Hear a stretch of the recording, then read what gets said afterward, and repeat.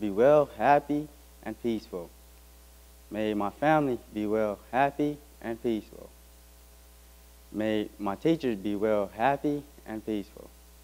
May the class of 2017 be well, happy, and peaceful. This blessing is part of my Lao culture. Welcome, students, staff, community members, family members, Director Riveroll, and the class of 2017. My name is Tommy Vorath, and this is my senior talk.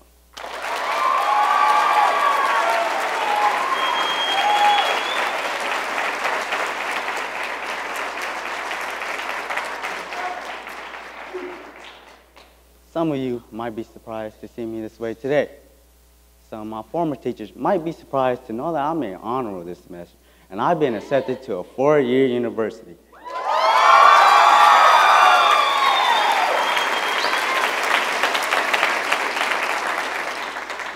Some of my family members might be surprised to see me on stage giving a speech, and some of my former friends might be surprised by my outfit today. Now, why is that? That is because I should be stubborn, angry, hard-headed, and I didn't care about my future. I'd done things in the past that I shouldn't have done. So I was faced with a decision. I had to decide whether my last year of high school that I would re- believe myself, that, would, uh, that, that I would reinvent who I was, or I would probably end up without a future. But me personally, I chose to reinvent myself, and it wasn't easy. It took time and sleepless nights but it was all worth it. Now, today, for my senior talk, I want to teach the younger generation of GPA to reinvent themselves like how I did. Here are the five steps that I followed to become a man with a future. Step one, believe in yourself. Step two, calm down. Step three, set goals. Step four, be a role model. Step five, win over adults. research show that when a student research show that when a student at a young age having a traumatic event happen to them are less likely to graduate, less likely to go to college, and most likely to behave disruptively in class.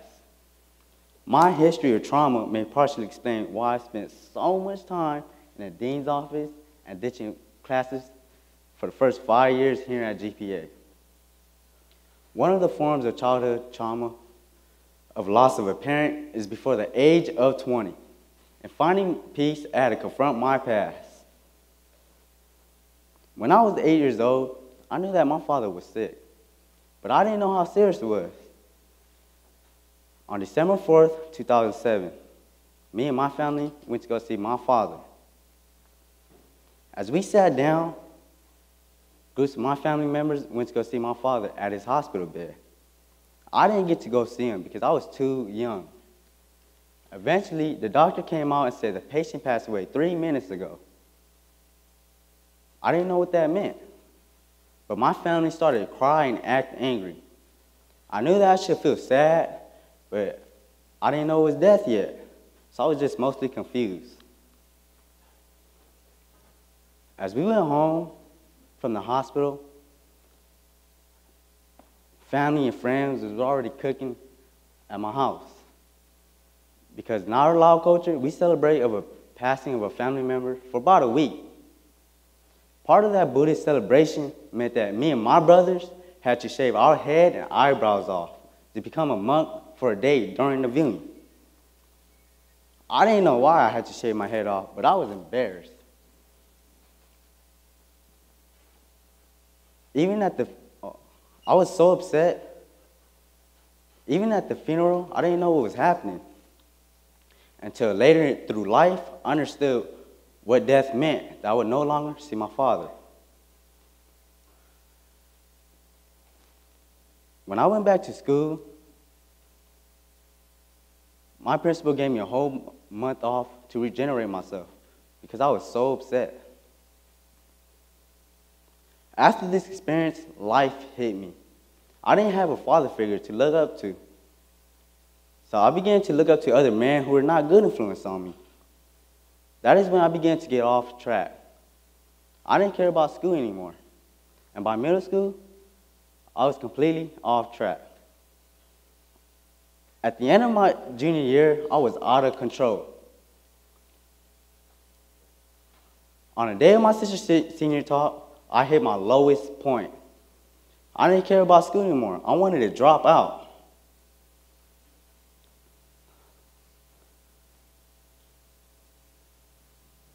That is when one of my sisters took me to go see one of the monks. And when I went to go see him, I bowed down three times to show my respect to him. And he started to lecture me. He had this bucket of water on the side of him with some sticks. He started whispering some things to, to it, and, and he just dipped the sticks into the bucket of water and splashed some water on my head. It was crazy because that monk knew what I was doing in the past, and he told me to stop on whatever I was doing before I end up somewhere I don't want to be. Before that day, so many people doubted me that I began to doubt myself. But that monk on that day believed in me. My family believed in me. That is when I took my first step towards reinventing myself. When the monk believed in me, I began to believe in myself. I saw that the path I was on is not where I want to be. My trauma had led me down into an angry person without a future who doubted my own abilities. When I began to believe myself again, I saw that there was another path for my life. At the temple, I learned that Buddhism is a path of practice, spiritual development, leading to insight true nature reality. Buddhist practice like meditation, means of changing yourself in order to develop qualities of awareness, kindness, and wisdom. Research shows that meditation is supposed to help calm people down. Me personally, I necessarily didn't need to meditate. But I would go outside on whatever was making me mad and to take deep breaths. Now, can you guys try this with me now? Ready, set, go. Inhale. Exhale. One more time. Inhale. Exhale. Good job, everyone. Lao Buddhists are very devout. Almost all Lao men join a monastery or temple for a short period of time. Many men become monks for the rest of their lives. Most people donate food to gain merit and to improve their karma. The Temple of Laos was once seen as the Temple of Laos was once seen as universities by monks. Monks are highly respected and revered in Lao communities. When I began volunteering at the temple, I realized that I didn't have any goals. As I began to calm down, believe myself again, I started to set goals. I realized that paying for college was going to be a huge challenge for me. Because of my poor grades and past struggles in school, it was difficult for me to find scholarships that I qualify for. So I began to look at other ways to help out my family and to create a future for myself.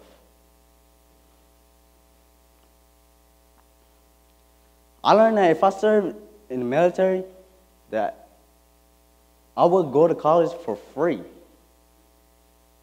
I spoke with the recruiter and I began to study for the ASVAB, which is the test you take in order to serve in the military. I studied hard for my classes, and I made honor roll for the first time here at GPA.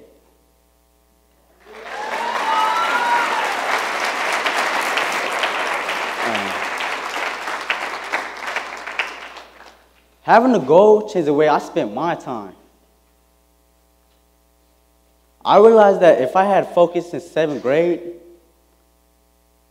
I might able I might have been able to earn a scholarship in a CSU or UC school, straight out of high school. My father, being a role model to me means taking responsibilities for what I did. because younger people are looking up to me now. Instead of blaming external sources like other people for my problem, I began to internalize them and take responsibility for what I did.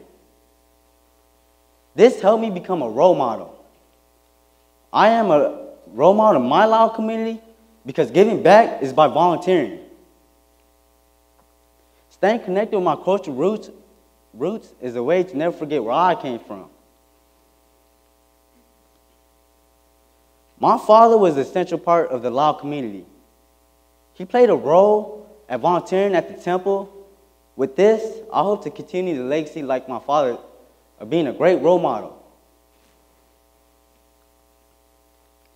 One of the hardest parts of reinventing myself was convincing other people that I had changed. In order to do that, I had to show teachers and other adults that I deserve their trust and that I will be a successful person. I have shown just I have shown a lot of adults just the opposite through my behavior in class up until 11th grade. Fortunately, I had other adults in my life who believed in me anyways.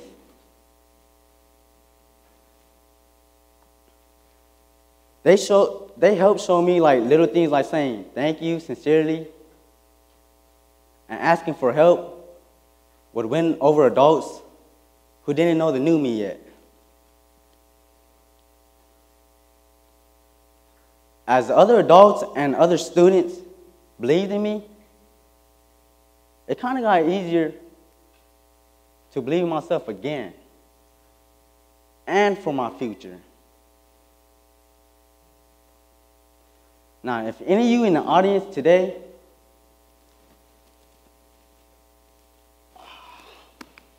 and if any of you in the audience today feel like you don't have a future for, for yourself, I'm going to give you a piece of advice that the monk gave me. If you want to be like me, a man with a future, believe in yourself.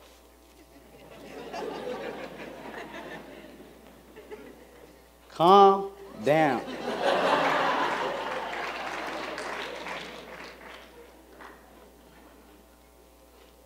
Set goes. Be a role model. And win over adults.